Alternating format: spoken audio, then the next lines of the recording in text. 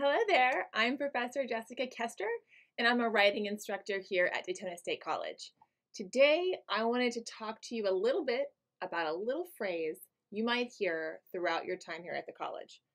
That phrase is college level writing. And I'm smiling because it's a tricky little phrase. You're expected to produce it in your classes, especially maybe 1101 or 1102, but it seems elusive, right? Like, what the heck is college level writing? And here's the truth the expectations for college level writing depend on who you're asking and what class or academic space your writing is a part of.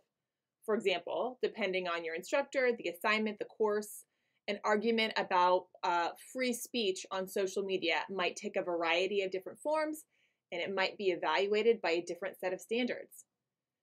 So, what is college level writing? Uh, it depends. And I know that may seem frustrating at first, but there are some general principles that I think can help guide you toward college level writing in a variety of situations. So, let's move beyond kind of strict rules and easy definitions for college level writing and think about some principles that will always need to be specified for a given writing situation. Okay, so here, here they are. College level writing is purpose driven.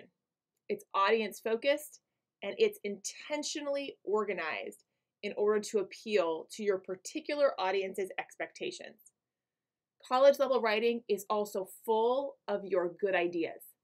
Uh, ideas that showcase your willingness to evaluate and consider course materials, readings, research, lecture material, class discussions, whether those things are happening in an online class or in a face to face situation. College level writing is about good ideas. It's your best brain work, written purposely for an audience and presented according to the standards outlined by your instructor or implied by the assignment itself. To produce college level writing, most folks need like a multi step process. And look, it doesn't have to happen in some formulaic way, but if you're not reading, thinking, planning, drafting, rethinking, revising, and collaborating, you're probably not doing your best work. And sometimes these things can get all mashed up together and they can happen pretty quickly.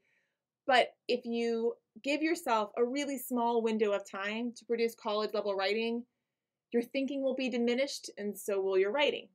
So, writing, like life, is complicated and you should never be satisfied with easy answers. But here's what works the next time you're trying your hand at college level writing, think like a college level writer. And that means asking questions like Who is my audience? What do they already know about the topic I'm writing about? What do they expect my writing to look like or sound like? And if you don't know, reach out and ask. Ask a friend, ask your professor, look to a model text, or schedule a session in the Writing Center. Ask yourself, what is my goal as a writer? In other words, what do you want your audience to know or understand or be persuaded to think after reading your writing? And then how can you organize and support your ideas to accomplish that goal? And finally, think about what kind of thing you're being asked to write and in what context. That argument we talked about, about social media, free speech on social media, let's say it was going to be written for um, an audience of your professor and peers in an MLA research argument form that needed research and support for a position. That's very different than if you've been assigned to write an opinion piece for the Daytona Beach News Journal, right? Different audience, different purpose, different genre, different context. And finally, maybe you were asked to consider that idea, social media and free speech, in relation to a particular reading you did on a discussion board.